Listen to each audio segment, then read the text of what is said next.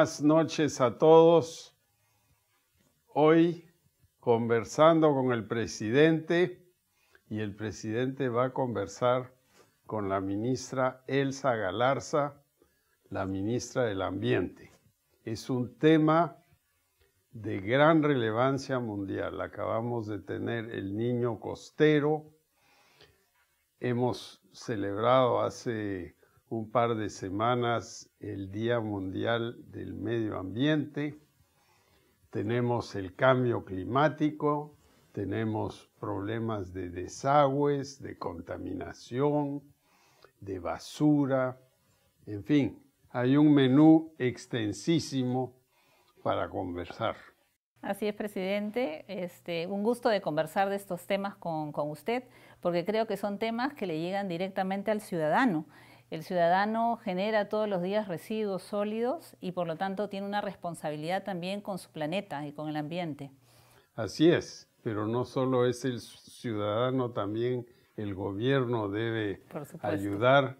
Por ejemplo, el ciudadano eh, que nos escucha, la mayoría están muy lejos de los bosques amazónicos, que son el pulmón del mundo, la fuente de una de las cuencas más grandes, la cuenca amazónica, o sea, somos latina y el pulmón del mundo al mismo tiempo. Así es, nuestros bosques tropicales son 70 millones de hectáreas de bosques tropicales que tenemos en el país, que se encuentran eh, con población, con, comunidades indígenas, y con gente, con ciudadanos peruanos que necesitan ver en esos bosques una posibilidad de desarrollo también y estamos justamente con el Ministerio del Ambiente tratando de lograr con ellos generar proyectos que le den valor a sus recursos naturales, a la biodiversidad, a este, el ecoturismo, por ejemplo, que puede generar mucho, mucho desarrollo y eso es lo que queremos, que el desarrollo vaya de la mano con el tema de la conservación ambiental. Ahora, cuéntale a los ciudadanos que nos escuchan ¿Qué hace el Ministerio del Ambiente? El Ministerio del Ambiente es el ente rector de la política ambiental. ¿Qué quiere decir esto? Que somos los que diseñamos los mecanismos que van a permitir justamente tener un ambiente más sano. Y esto lo tenemos en diferentes ámbitos. Por ejemplo, un ámbito tiene que ver con todo lo que nosotros llamamos Perú natural, que es la parte verde de nuestros ecosistemas, nuestros bosques, nuestra Amazonía, pero también nuestros recursos hidrobiológicos, el mar peruano, las montañas, los glaciares. Y por el otro lado también tenemos lo que llamamos Perú limpio. Perú limpio se enfoca en la parte marrón, en la parte de calidad ambiental, en la parte de reducción de contaminación, en la parte del manejo de residuos sólidos. Entonces, tenemos un Perú limpio y un Perú natural, que son nuestros dos ejes de desarrollo y que hacemos la política y tratamos de generar los incentivos para que el sector público, el sector privado y el ciudadano podamos converger a un mejor nivel de vida y un mejor bienestar de la población. Ahora, hay un mecanismo internacional para preservar el bosque amazónico. El gobierno de Noruega es el líder en esto, acompañado por otros gobiernos, y nosotros tenemos un fondo que se firmó con el gobierno de Noruega bajo el gobierno anterior, pero hasta ahora no se ha desembolsado un dólar de esto. Así es. ¿Por qué es eso? A ver, eh, los mecanismos que tenemos eh, internacionales, que son varios, eh, tienen una serie de requisitos y justamente lo que estos mecanismos buscan es que el país esté preparado adecuadamente en términos de las condiciones básicas que permitan justamente mantener el bosque en pie, es decir, no deforestar. Y en el caso del Fondo de Noruega, por ejemplo, las condiciones previas que nos han pedido es que, por ejemplo, las zonas donde se hagan estos proyectos tienen que estar tituladas. Entonces hay todo un proceso que se tiene que hacer de titulación de tierras, tanto de comunidades como de todas las personas que tienen algún tipo de, de derecho de propiedad ahí. Y eh, también que se vean el tema de la cultura, es decir, porque todas esas áreas están con eh, poblaciones indígenas que quieren también ser reconocidas en su territorio. Entonces, estos son procesos que no los hace el Ministerio del Ambiente y eso es lo interesante, porque el tema ambiental es un, tema transversal y requiere del Ministerio de Agricultura, requiere del Ministerio de Cultura y entonces juntos, exactamente, y juntos entonces vamos a poder lograr esas características primero eh, que van a permitir que luego los proyectos que vengan a, establecerse ahí tengan la garantía de que esos bosques se van a preservar y por lo tanto se va a poder ayudar. Entonces, estamos en esas etapas previas. ¿No? Y esperamos eh, que en un año, un par de años más, podamos tener ya nuestros primeros este, pagos por resultados, pero también tenemos, eh, presidente, otros, otras fuentes de financiamiento, por ejemplo, el Fondo Verde del Clima, ¿no? que justamente lo crea, eh, se crea a raíz del Acuerdo de París, ¿no es cierto?, donde hay fondos para los países en desarrollo y esos fondos también tienen ciertas características que tienen que ser, por ejemplo, manejados por instituciones financieras eh, que de cierta solvencia en el país. Entonces, en el caso del Fondo Verde del Clima, el Perú ha sido el primer país que le han aprobado un proyecto que se va a dar en el DATEM del Marañón, en Loreto, y involucra a más de siete comunidades indígenas. Entonces, ya está prontito, eso en unos dos meses, tres meses más, sale el proyecto y van a recibir el primer desembolso. ¿Y tú le puedes decir al público que nos escucha que realmente vamos a poder frenar la tala ilegal en la Amazonía? Ese es el reto que tenemos que hacer. Estamos dispuestos a apoyar con todo el equipo del Ejecutivo a este trabajo y estoy seguro que con el apoyo también de las propias comunidades lo vamos a lograr. Claro, tenemos que apoyar a las comunidades. Sin duda. Ellas consideran de que titular la tierra es de repente una invención burocrática porque ellos han vivido ahí siempre. Exacto, pero es una, una, necesidad porque de esa manera ellos van a poder tener mucho más facilidad de lograr, por ejemplo, un financiamiento, ¿no? Y, y eso creo que los va a ayudar en el futuro para que sean sostenibles. Ahora, un tema muy importante es la minería en las zonas amazónicas, que es minería aluvial y hay fotos en Madre de Dios, en La Pampa, que son devastadoras. Y se ve una devastación, polvo, eh, el río completamente contaminado.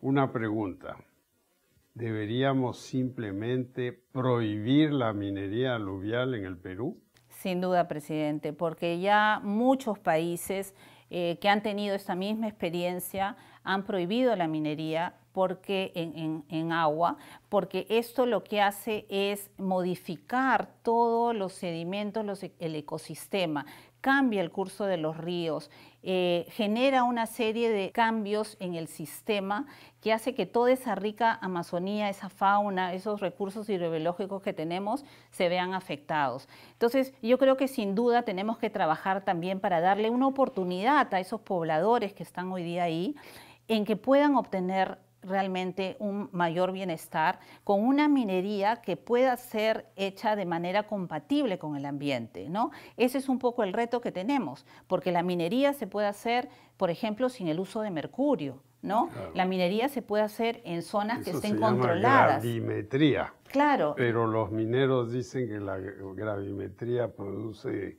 10 veces menos que el mercurio. No es así, estamos llevando muchas, estamos llevando muchas eh, experiencias, eh, tecnologías para que ellos lo prueben. Y creo que cuando ellos lo, lo, prueban se quedan convencidos de que es una opción que es factible de hacer y sobre todo están tranquilos porque van a poder justamente producir y a la vez no dañar ese ambiente tan rico que todos queremos preservar. Lo que queremos hacer es y ya se creó en el papel, le falta la, plata, el fondo minero que compraría ese oro a mejor precio que los habilitadores. Exactamente, porque además el minero, el que realmente trabaja todo el día en la minería, no recibe lo que reciben los, los comercializadores, ¿no? Entonces, si queremos eh, justamente utilizar ese fondo minero, sería muy bueno para el propio productor que recibiría un precio mejor por su producto y a la vez garantizaríamos que el proceso productivo sea un proceso sin mercurio. Porque se nos están yendo fuera del Perú ilegalmente 30 a 40 toneladas de oro al año son miles de millones de dólares de exportaciones que no se registran y centenares de millones de dólares de impuestos que no se pagan.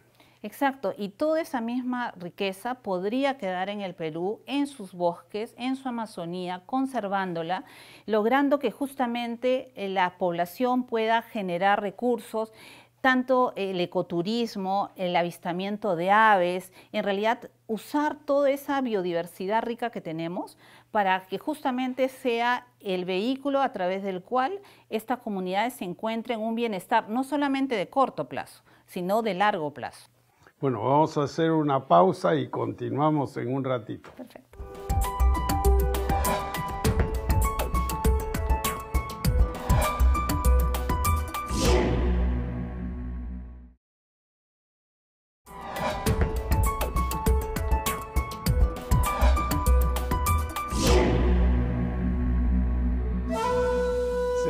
conversando con Elsa Galarza, la ministra del Ambiente, y ahora quiero trasladarnos hacia las ciudades.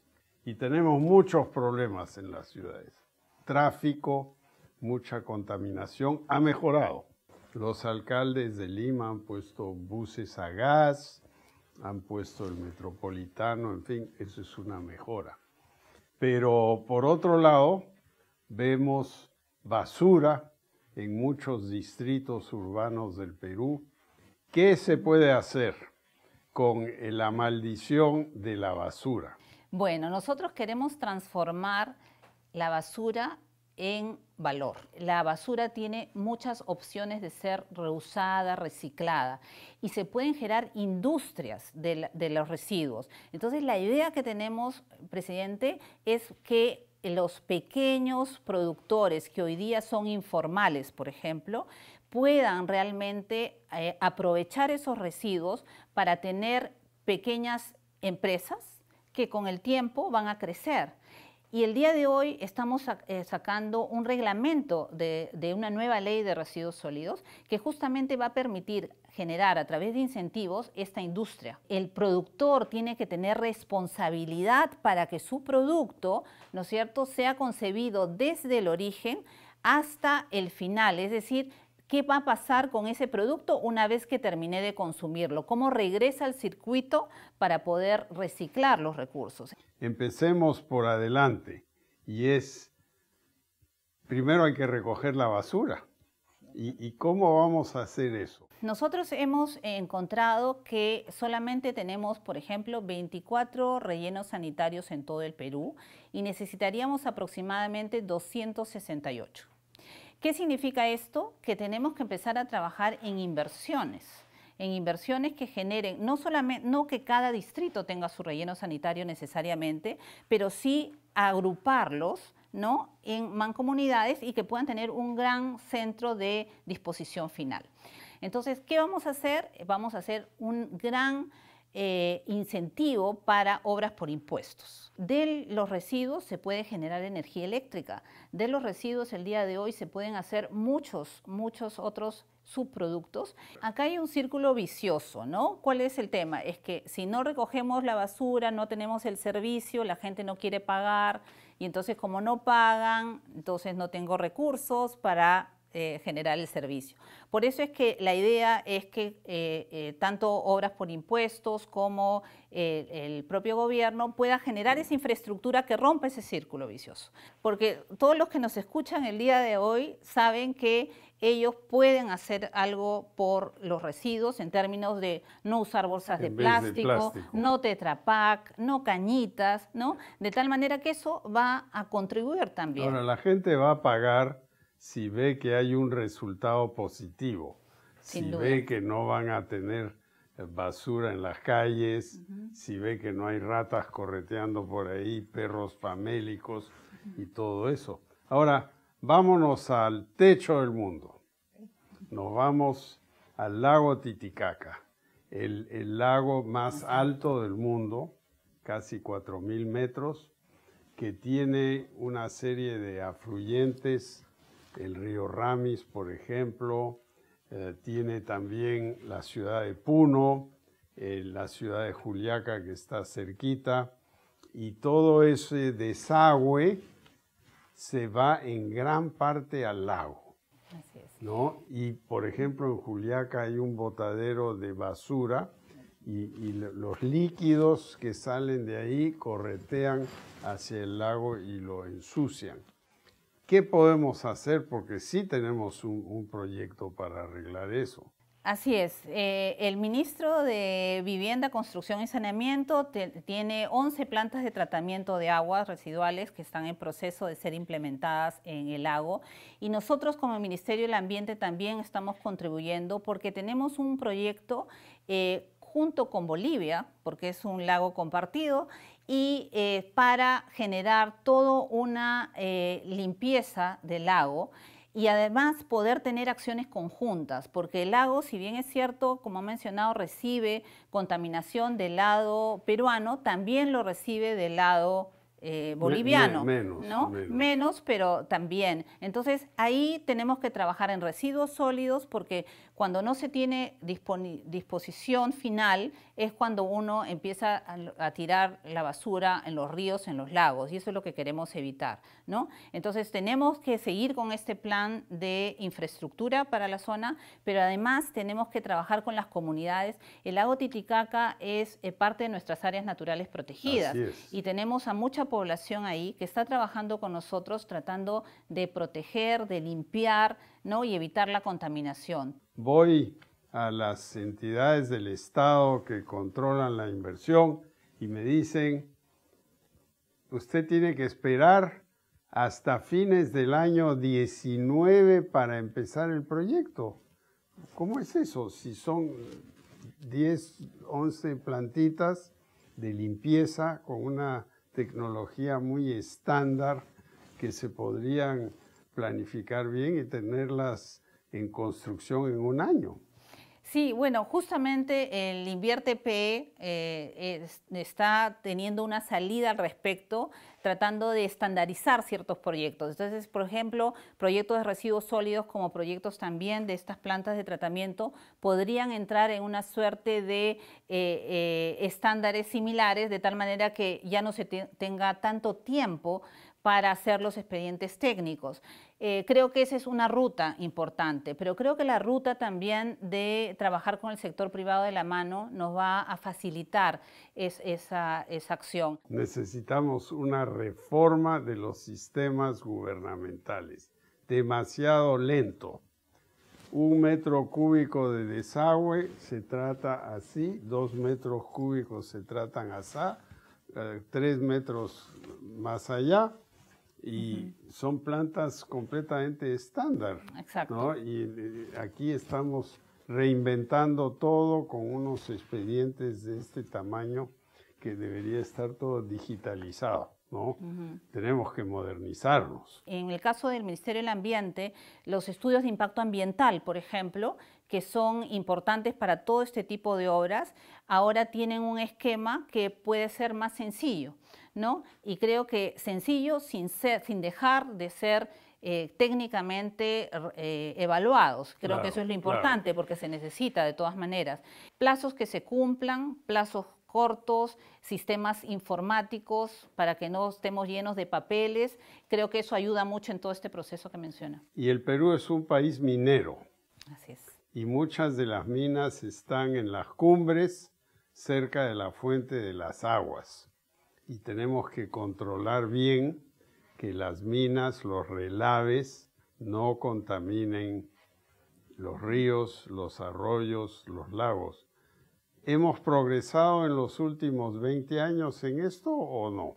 Yo creo que sí, porque en el sector ambiente hemos creado el organismo de evaluación y fiscalización ambiental para ver justamente las grandes inversiones. Antes, esa evaluación, fiscalización se hacía desde el propio sector. Entonces era un poco de juez y parte. El día de hoy, al estar en, el sector ambiente, en una eh, entidad escrita, este, tiene mucho más sentido, mucho más transparencia para el propio administrado. El OEFA creo que es una garantía para los sectores y las multas tienen que ser eh, totalmente eh, claras en el proceso. Es decir, yo puedo calcular la multa en función a ciertos criterios, no a un criterio de un funcionario, sino sobre la base de una estimación de daños en el caso, ¿no? Y creo que eso va a ser muy transparente y creo que eso es la mejor forma de trabajar de la mano del sector privado. Entonces, queremos un país limpio, ambientalmente responsable, promotor de la producción limpia. Y no hemos hablado del mar. Nuestro mar, tenemos 2.600 kilómetros de costa y lamentablemente también por ahí se echan los desagües. También. las playas alrededor de Lima hay varias que no son aptas. ¿Qué estamos haciendo en ese campo? La zona marino-costera en realidad es también una, una línea de trabajo que tenemos porque consideramos que ahí se encuentran en el mar muchos sectores, ¿no? Están los pescadores artesanales industriales, está el transporte también, que, eh, que es importante para el flujo comercial del país, se encuentran también áreas naturales marinas protegidas que son importantes, se encuentran pozos de petróleo y toda la zona costera hay ciudades. Y también es, eh, la zona costera este, tiene, digamos, la ventaja de tener mucho más acceso, ¿no? Y obviamente eso requiere también de una planificación.